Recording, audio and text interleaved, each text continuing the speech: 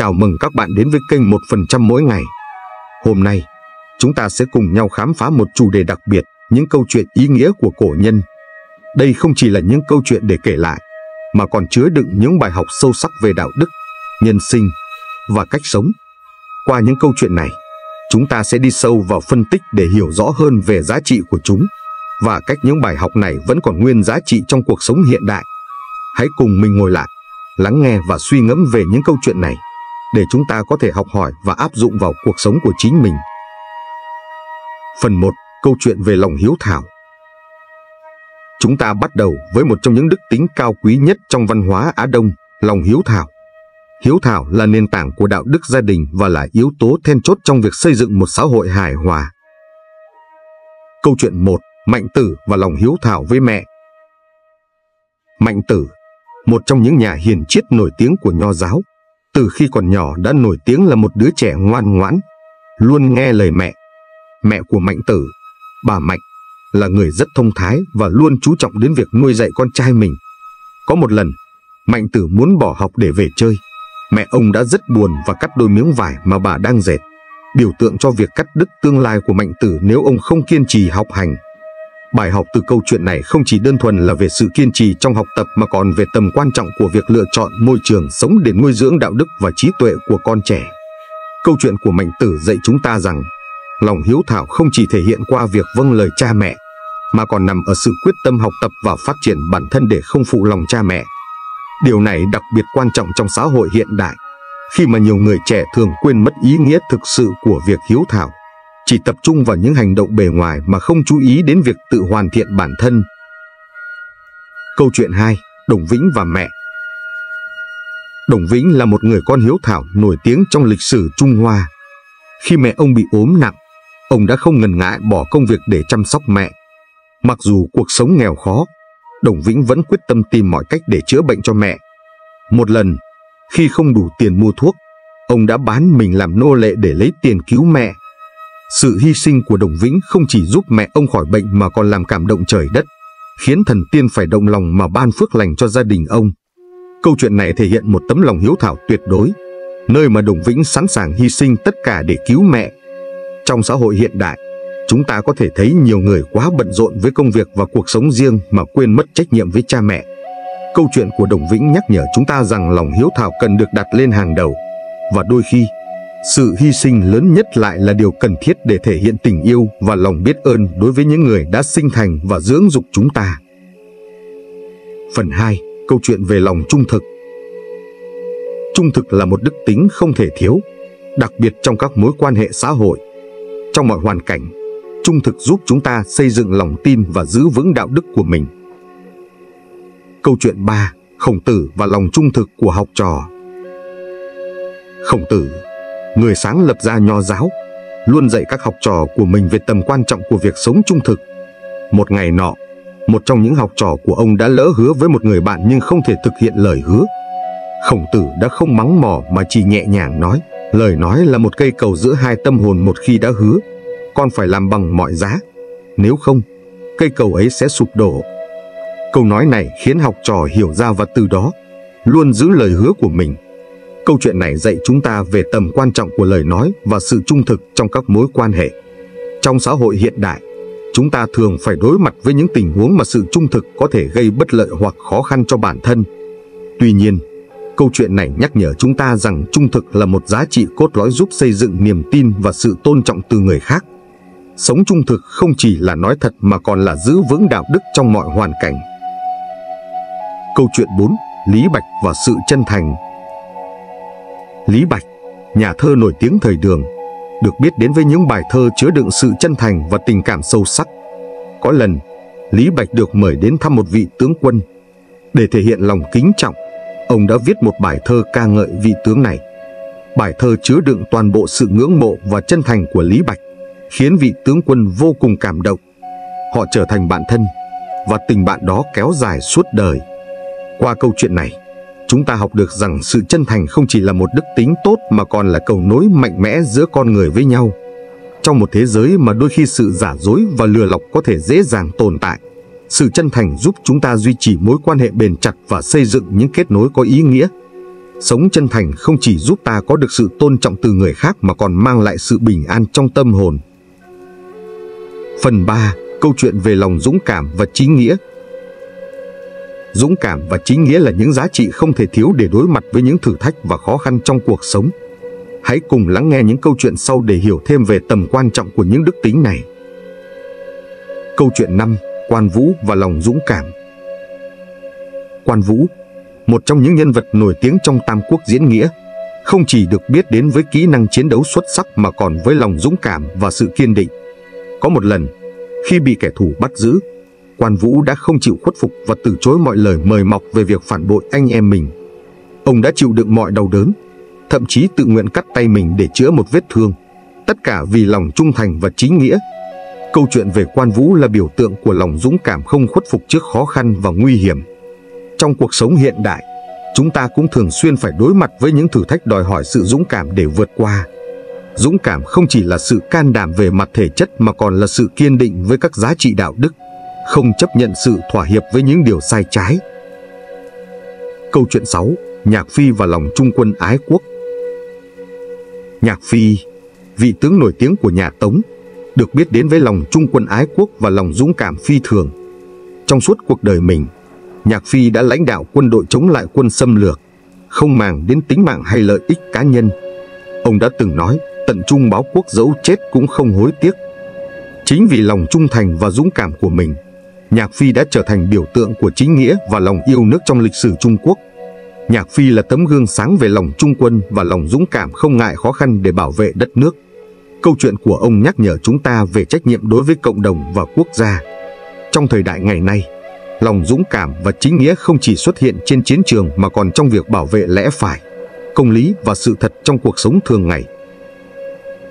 Phần 4.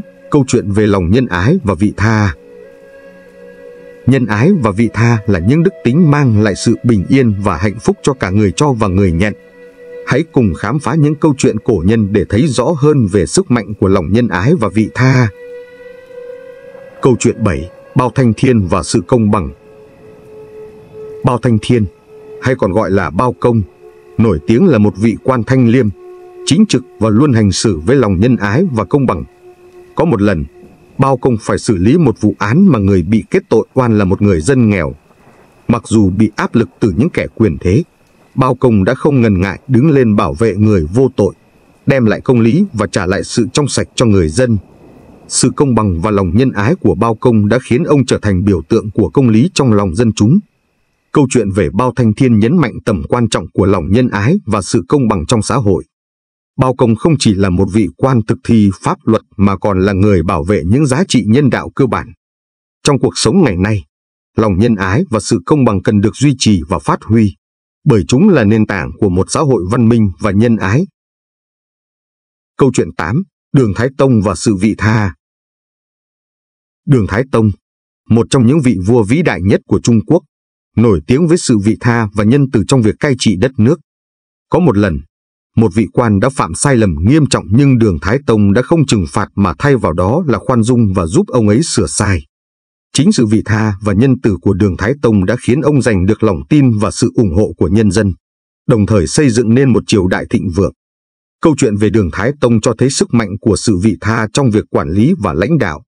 Sự vị tha không chỉ giúp người khác có cơ hội sửa sai mà còn tạo ra một môi trường hòa bình, nơi mà mọi người có thể học hỏi và phát triển.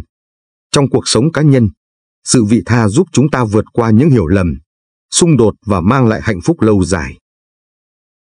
Phần 5. Câu chuyện về sự kiên nhẫn và bền bỉ Kiên nhẫn và bền bỉ là những đức tính quan trọng giúp chúng ta vượt qua khó khăn và đạt được mục tiêu trong cuộc sống. Cùng lắng nghe những câu chuyện sau để hiểu rõ hơn về giá trị của sự kiên nhẫn và bền bỉ. Câu chuyện 9. Khuất Nguyên và sự kiên nhẫn Khuất Nguyên, một nhà thơ và trung thần của nước sở, nổi tiếng với lòng trung thành và sự kiên nhẫn trong việc bảo vệ lý tưởng của mình. Dù bị lưu đày và trải qua nhiều khó khăn, Khuất Nguyên vẫn kiên nhẫn sáng tác và truyền bá những tư tưởng yêu nước, qua đó thể hiện sự kiên định với lý tưởng và danh dự của ông. Bài thơ ly tào của Khuất Nguyên là minh chứng cho sự bền bỉ trong sáng tạo và tư duy của ông. Câu chuyện của Khuất Nguyên nhấn mạnh tầm quan trọng của sự kiên nhẫn và bền bỉ trong việc theo đuổi mục tiêu. Trong xã hội hiện đại, khi mọi thứ diễn ra nhanh chóng và nhiều người dễ dàng bỏ cuộc khi đối mặt với khó khăn, sự kiên nhẫn và bền bỉ trở thành những đức tính quý báu giúp chúng ta vượt qua thử thách và đạt được thành công. Câu chuyện 10. Vương Dương Minh và hành trình tìm kiếm chân lý Vương Dương Minh, một triết gia nổi tiếng thời Minh, đã dành cả cuộc đời mình để tìm kiếm và truyền bá chân lý về đạo đức và nhân sinh. Dù gặp phải nhiều khó khăn và trở ngại, ông không ngừng nghiên cứu, giảng dạy và viết sách, qua đó phát triển học thuyết chi hành hợp nhất, một trong những triết lý quan trọng của nho giáo. Sự bền bỉ của Vương Dương Minh trong việc theo đuổi chân lý đã để lại một di sản văn hóa và triết học vô giá cho nhân loại. Câu chuyện về Vương Dương Minh là minh chứng cho sức mạnh của sự bền bỉ và kiên trì trong việc tìm kiếm tri thức và chân lý. Trong cuộc sống hiện đại, khi chúng ta phải đối mặt với những thách thức và thất bại, sự bền bỉ không chỉ giúp chúng ta tiếp tục con đường đã chọn mà còn mang lại những kết quả xứng đáng và giá trị.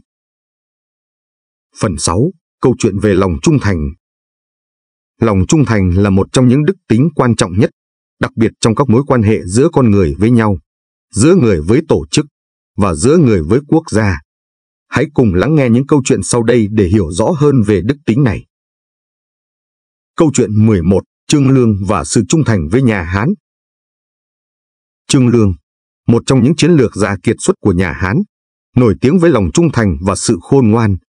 Sau khi nhà Hán lật đổ nhà Tần, Trương Lương vẫn tiếp tục cống hiến sức lực và trí tuệ của mình để giúp Lưu Bang xây dựng đế quốc vững mạnh. Dù đã có cơ hội để từ bỏ công việc và sống cuộc sống yên bình, Trương Lương vẫn trung thành ở lại, tiếp tục phục vụ và cố vấn cho Lưu Bang, vì ông biết rằng chỉ khi đất nước thực sự ổn định, ông mới có thể rời bỏ công việc một cách an lòng. Câu chuyện của Trương Lương là một minh chứng cho lòng trung thành không chỉ với một cá nhân mà còn với một lý tưởng cao cả hơn, đó là sự phục vụ cho quốc gia. Trong xã hội hiện đại, lòng trung thành đôi khi bị đánh đổi vì những lợi ích cá nhân. Tuy nhiên, câu chuyện này nhắc nhở chúng ta về tầm quan trọng của sự trung thành với những giá trị cốt lõi và mục tiêu lớn hơn trong cuộc sống. Câu chuyện 12, Nhạc Phi và lòng trung thành với vua. Nhạc Phi, ngoài lòng yêu nước, còn nổi tiếng với lòng trung thành tuyệt đối với vua của mình. Khi triều đình bị kẻ thù xâm lược và nhiều người đã bỏ chạy, Nhạc Phi vẫn kiên định bảo vệ quốc gia và nhà vua, dù biết rằng ông có thể phải trả giá bằng mạng sống của mình. Lòng trung thành của Nhạc Phi là nguồn cảm hứng lớn cho nhiều thế hệ sau này, và ông đã trở thành biểu tượng của lòng trung thành và lòng yêu nước trong lịch sử Trung Quốc. Lòng trung thành của Nhạc Phi là một tấm gương sáng cho chúng ta về việc đặt nghĩa vụ và trách nhiệm lên trên lợi ích cá nhân. Trong xã hội ngày nay, khi sự trung thành đôi khi bị thử thách bởi những áp lực của cuộc sống, câu chuyện của Nhạc Phi nhắc nhở chúng ta rằng trung thành không chỉ là một đức tính mà còn là nghĩa vụ đối với những người mà chúng ta cam kết phục vụ. Phần 7. Câu chuyện về sự khiêm tốn và học hỏi Khiêm tốn là chìa khóa để học hỏi và tiến bộ. Những người thực sự vĩ đại không phải là những người tự cao tự đại, mà là những người luôn nhận thức rõ giá trị của việc học hỏi từ người khác. Câu chuyện 13, Lão Tử và sự khiêm tốn trong triết lý. Lão Tử, người sáng lập ra đạo giáo, nổi tiếng với tư tưởng về sự khiêm tốn và vô vi. Ông cho rằng, người thực sự khôn ngoan là người hiểu rõ giới hạn của mình và không bao giờ ngừng học hỏi. Trong cuốn Đạo Đức Kinh, Lão Tử đã viết người biết đủ là người giàu có, người biết lui là người trường thọ. Ông luôn nhắc nhở rằng sự khiêm tốn là cốt lõi của cuộc sống hài hòa và rằng người biết giữ mình ở vị trí thấp sẽ không bao giờ bị tổn hại. Câu chuyện và triết lý của Lão Tử dạy chúng ta rằng khiêm tốn là nền tảng của sự trưởng thành. Trong thời đại ngày nay, khi mà kiến thức và công nghệ phát triển vượt bậc, đôi khi con người dễ rơi vào tình trạng tự mãn. Tuy nhiên, sự khiêm tốn giúp chúng ta luôn mở rộng tâm trí để học hỏi và cải thiện bản thân. Câu chuyện 14, Khổng tử và tinh thần học hỏi không ngừng. Khổng tử, mặc dù là một bậc thầy về đạo đức và triết học, nhưng ông luôn giữ tinh thần học hỏi không ngừng. Một lần, khổng tử đã đến gặp một người thợ gốm già để học cách làm gốm. Khi học trò hỏi vì sao ông, một bậc thầy vĩ đại, lại cần học hỏi từ một người thợ thủ công bình thường, khổng tử trả lời, không ai là không có điều gì để dạy chúng ta. Kiến thức không nằm ở địa vị mà nằm ở sự sẵn lòng học hỏi. Câu chuyện này nhấn mạnh rằng kiến thức và sự khôn ngoan không bao giờ là đủ. Sự khiêm tốn trong việc học hỏi là một đức tính quan trọng giúp chúng ta không ngừng tiến bộ. Trong cuộc sống hiện đại, nơi mà sự cạnh tranh ngày càng khốc liệt, tinh thần học hỏi không ngừng sẽ giúp chúng ta luôn dẫn đầu và đạt được thành công. Phần 8. Câu chuyện về sự khôn ngoan và tầm nhìn xa sự khôn ngoan và tầm nhìn xa là những yếu tố quan trọng giúp chúng ta đưa ra những quyết định đúng đắn và xây dựng một tương lai vững chắc. Những câu chuyện sau đây sẽ minh họa rõ ràng hơn về tầm quan trọng của những đức tính này. Câu chuyện 15. Gia Cát Lượng và sự khôn ngoan trong chiến lược Gia Cát Lượng, một trong những chiến lược gia vĩ đại nhất trong lịch sử Trung Quốc, nổi tiếng với sự khôn ngoan và tầm nhìn xa.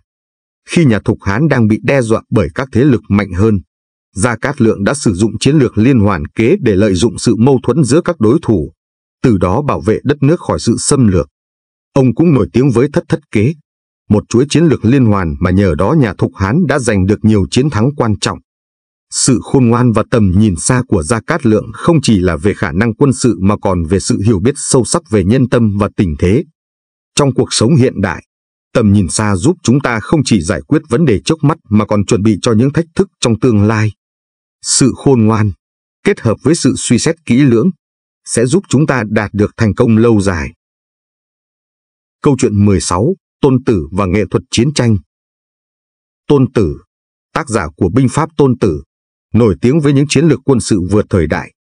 Tác phẩm của ông không chỉ là một cuốn sách về chiến tranh mà còn là một cẩm nang về sự khôn ngoan trong quản lý và lãnh đạo.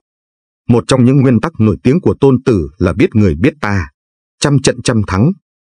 Ông nhấn mạnh tầm quan trọng của việc hiểu rõ cả bản thân và đối thủ trước khi đưa ra quyết định. Câu chuyện về tôn tử và những nguyên tắc của ông dạy chúng ta rằng sự khôn ngoan và tầm nhìn xa là chìa khóa để đạt được thành công trong mọi lĩnh vực, không chỉ trong chiến tranh.